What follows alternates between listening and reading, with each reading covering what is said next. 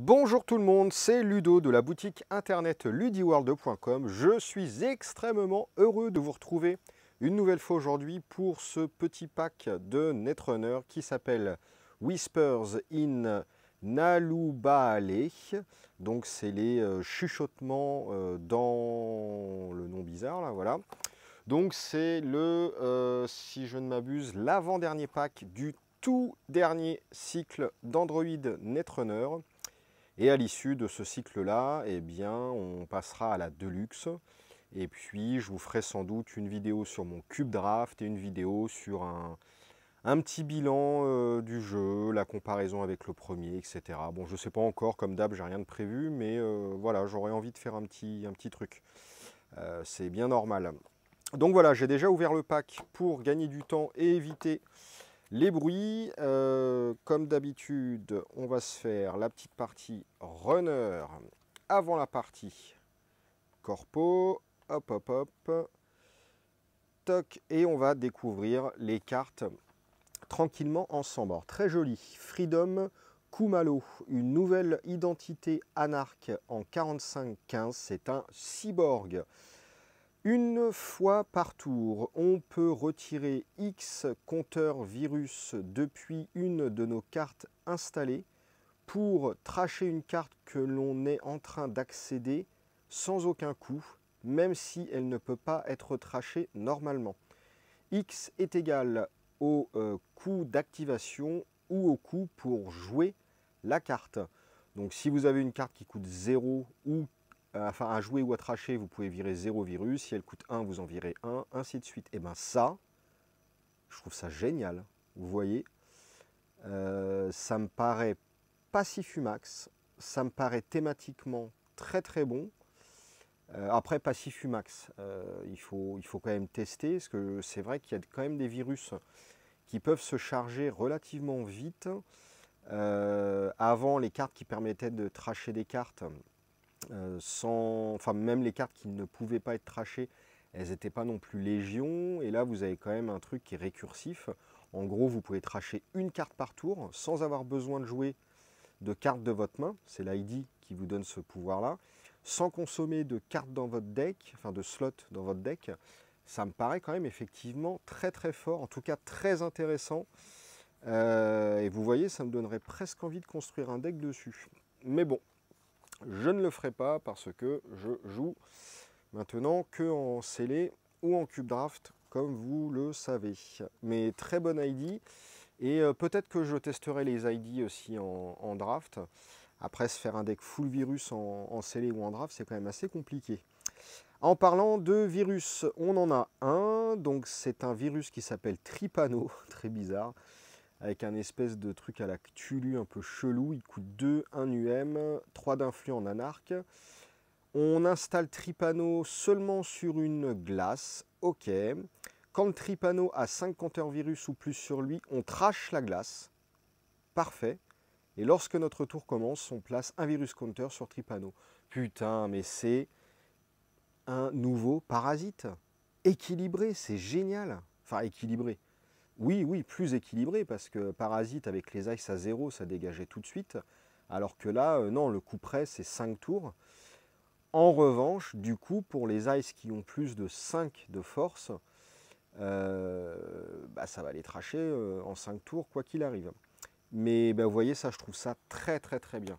Franchement, mais j'ai les boules que le jeu s'arrête parce que il redevenait vraiment ultra intéressant. C'est eh bien écoutez ça, hop, très bonne carte pour ma part. Une autre carte Anarch à 1 d'influx qui coûte 1 à jouer qui s'appelle Contaminate. C'est un event. On va placer 3 virus counter sur une euh, runner card qui n'a pas de compteur virus sur elle. Ok, donc on n'est pas obligé de la mettre sur une carte qui euh, un virus ou une carte qui hoste habituellement des virus. On peut le mettre sur n'importe quelle carte et comme il y a des cartes, notamment une ressource je crois que j'ai euh, vu euh, récemment dans un pack qu'on avait ouvert qui permet de redistribuer les compteurs virus. Bon voilà. Bon alors ça c'est du thématisé virus, c'est difficilement évaluable correctement des cartes comme ça. Euh, Illustrateur Adam S. Doyle. Ben, vous voyez, j'avais reconnu un peu au, style là. Euh, bon, c'est pas exceptionnel parce que c'est dépendant d'autres cartes. Donc je le mets vraiment pas avec Tripano qui, euh, elle fait le café. Hein. Par contre, on peut le mettre avec l'ID parce qu'il y a comme un thème qui se dégage. Waouh Comment c'est beau Un bezel, c'est magnifique. Je sais pas si vous avez vu le trailer de Cyberpunk 2077, le futur jeu vidéo de CD Projekt, qui est euh, grosso modo une V1, 2, 3, une V4 du jeu de rôle Cyberpunk 2020, enfin 2013. Euh, bon, c'est un jeu vidéo, c'est pas du jeu de rôle papier, mais euh, globalement, c'est une V4 du jeu de rôle papier, en gros quoi. Mike Pondsmith, le créateur de Cyberpunk et le directeur de Air Talsorian Game, bosse en conjonction avec CD Projekt, ça a l'air un truc dantesque, vraiment. Et ça me fait penser euh, à ça. Quoi. Bon, de toute façon, c'est le style, euh, le style cyberpunk. Hein. Donc, c'est un event criminel qui coûte 1, 3 d'influx, run sabotage. On fait un run sur la main. S'il est réussi, à la place d'accéder à des cartes, on va nommer asset, ice, opération ou upgrade. Donc, euh, soit asset, soit ice, soit opération, soit upgrade.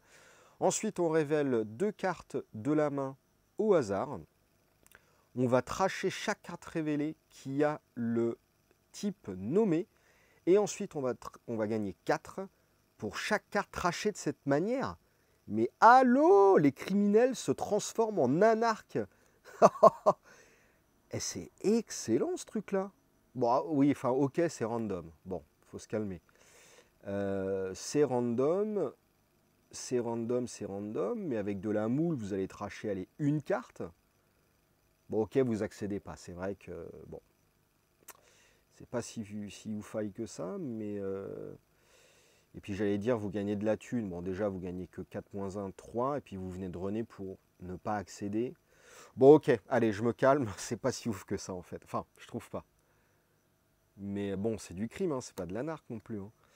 Slipstream, une ressource virtuelle à zéro en deux d'influx. Alors les ressources qui coûtent zéro, c'est toujours la fête. Lorsque l'on passe une glace activée, on peut tracher Slipstream et si on le fait, on choisit une glace qui protège un serveur central à la même position que celle que l'on vient juste de passer et on est maintenant en train d'approcher cette glace.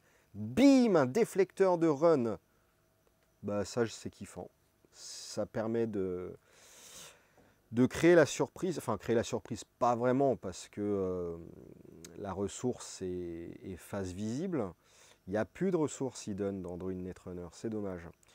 Euh, malgré tout, la corpo peut pas faire grand chose contre ça, à moins de vous taguer et tracher la ressource. Donc c'est quand même un effet disruptif du runner envers la corpo. Et puis ça permet de euh, fluidifier un accès euh, s'il y a des glaces un petit peu trop méchantes, euh, je sais pas, sur le devant du RD, et que sur, archive ou la main, c'est un peu plus euh, poreux, bah, vous allez runner sur l'un de ces deux serveurs et boum, vous vous redirigez sur RD, c'est mortel. Franchement, bon, globalement, c'est pour moi, c'est ce que j'appelle une carte d'économie dérivée, ça. Ça permet juste de gagner de la thune si le run sur lequel vous êtes, enfin sur le serveur sur lequel vous étiez en train de faire le run, est euh, moins cher que le run où vous voulez euh, arriver. Voilà, c'est de l'économie dérivée pour moi. Lambe, magnifique, le bras de cyborg, 4 d'install, 2 de ému, en shaper, 2 d'influx, c'est relativement cher. C'est un icebreaker fracteur, donc qui neutralise les barrières, de force 2. Pour 2, vous pétez n'importe quel nombre de sub-barrières. Donc au-delà de 2 subroutines, vous êtes gagnant. Pour 3, vous faites du plus 6 sachant que vous démarrez à 2. Euh, vous allez pouvoir passer des glaces jusqu'à 8.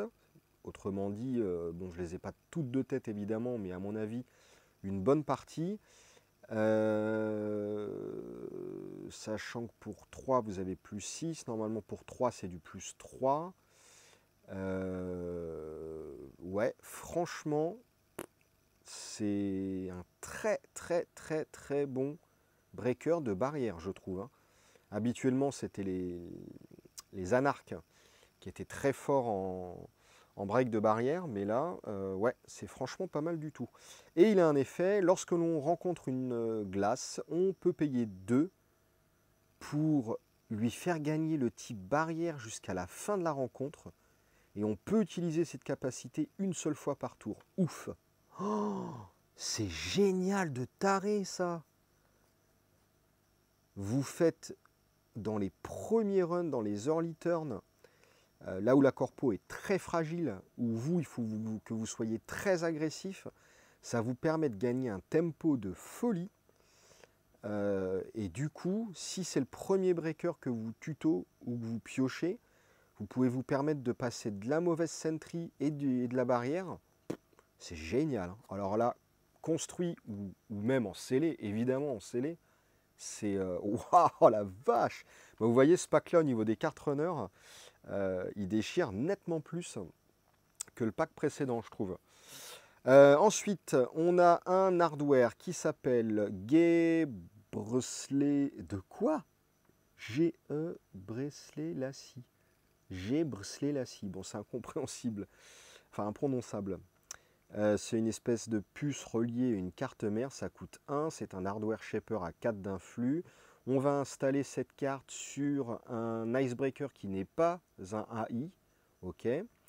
Euh, l'icebreaker, euh, l'icebreaker concerné retourne à sa force de base à la fin de chaque turn au lieu de chaque rencontre. Putain, oh là là, je suis désolé là, mais je deviens fou.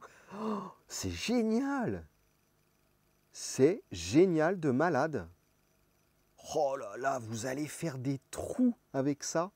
Oh. non mais ça en scellé, mais c'est pareil, putain, mon cube, ça va être génial, j'ai trop hâte de le jouer. Ensuite, on a un event euh, run, donc ça déclenche un run en euh, shaper, ça s'appelle compile, ça coûte 2, ça a 3 d'influx, on déclenche un run. La première fois euh, dans le tour que vous rencontrez une glace, on peut chercher dans notre euh, deck, dans notre poubelle ou dans notre poubelle pour un programme et l'installer en ignorant tous ses coups. Ensuite, lorsque le run se termine, on euh, rajoute ce programme à la fin de notre stack s'il est toujours installé. Bon, à la limite, vaut mieux qu'il soit traché. mais c'est génial. Si vous avez encore de quoi tuto ou si vous en avez plus, mis plusieurs dans le deck, vous gagnez en rapidité d'installation avec ça. Enfin, pas réellement d'installation parce que derrière vous le perdez, mais euh, c'est clairement une carte de, de début de partie. Euh, non, en fait, ça peut servir partout. Hein. Bon, majoritairement en début de partie, mais en milieu de partie, si vous n'êtes toujours pas installé, ça vous accélère. Puis en fin de partie, si la corpo euh, domine de nouveau, qu'elle vous a joué des sales coups, qu'il y a un breaker qui est retourné on ne sait où, ça peut être vraiment vraiment bien. Ma sonnerie vient de sonner parce que euh, j'ai commandé à manger et je vais devoir aller manger bientôt. Donc ça tombe bien, on arrive à la fin des cartes. Une carte de, euh, c'est Sony ça je crois, non ou Adam, ouais c'est Adam ça. Une ressource virtuelle qui coûte 0, ça s'appelle Logic Bomb. 5 euh, d'influx, ok. Elle a un effet qui se déclenche lorsqu'on trash cette carte. Et l'effet dit, on euh, bypass une glace que l'on est en train de rencontrer et par contre on perd toutes nos actions restantes. on s'en fout, il hein, suffit de runner en run 3 ou 4. Oh là là là là C'est en même temps une carte d'économie. Et pour le coup, alors c'est de l'économie dérivée parce que c'est pas réellement de l'argent. C'est ce que j'appelle encore une fois de l'économie dérivée. Mais le gain peut être énorme en fonction de la glace que vous êtes en train de rencontrer. Imaginez une glace qui vous demande normalement de briquer pour 8, 10, 12 ou je sais quoi. Bah, ça vous fait euh, une économie de thunes pour zéro, c'est énorme. Enfin ok, c'est 5 d'influx, mais en scellé ou en draft, on s'en fout, il n'y a pas d'influx, donc c'est une tuerie. Euh, et en plus, vous gagnez en... Vous n'avez pas besoin de breaker. Donc, euh, enfin, limite, tour 1, bam, vous avez ça, bim, vous renez, vous en foutez vous scoutez, vous avez vu ce que c'était la glace. Euh, non, mais c'est. ce pack-là, mais euh, excellent. Jackpot, une ressource neutre sans influx pour zéro. Lorsque notre tour commence, on peut placer un de thunes sur Jackpot. Et lorsqu'un agenda est ajouté à votre zone de scoring, on peut choisir n'importe quel nombre de thunes sur Jackpot. Enfin non, on peut gagner, oui, n'importe quel nombre de thunes qui étaient sur Jackpot. On vide Jackpot, quoi. Et si on le fait, on le trash. Rigolo. Euh, rigolo. Pour zéro, c'est euh, autant tenter, hein, le coup de poker. Jackpot, quoi. Et eh ben franchement, ce pack, c'est de la tuerie de fou en runner. Franchement, je suis très très très content.